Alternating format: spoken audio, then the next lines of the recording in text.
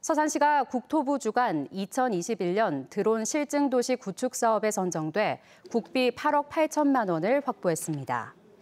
대전, 세종, 광주 등 광역 5곳과 성남, 대구, 수성구 등 기초 5곳이 선정됐으며 서산시가 충남에서 유일하게 선정됐습니다.